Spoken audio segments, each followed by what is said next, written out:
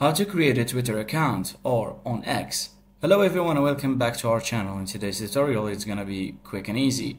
How to create a Twitter account or an X account today. So first of all head to the x.com website and here you'll find uh, options to sign up with Google or Apple or to create a brand new account. So you can choose to sign up with Google account or Apple account or create an account through a different email. I'm going to choose this option for today to make it quick and easy. I will choose this email because I don't have an X account on it. And follow the prompts. Enter your date of birth.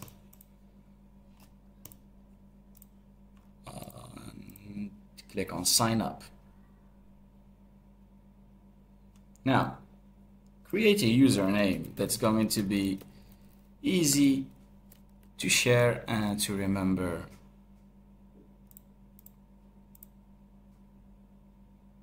Allow notifications so you can receive new notifications on your navigator.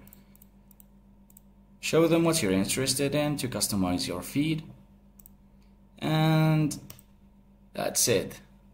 You can follow different accounts so you can have a, a, a well so you can have a well customized feed and that's it We've successfully created a Twitter account using our Gmail. You can do the same with Apple or you can just simply just click on create account and use a different email for this process. Now thanks for watching and don't forget to subscribe.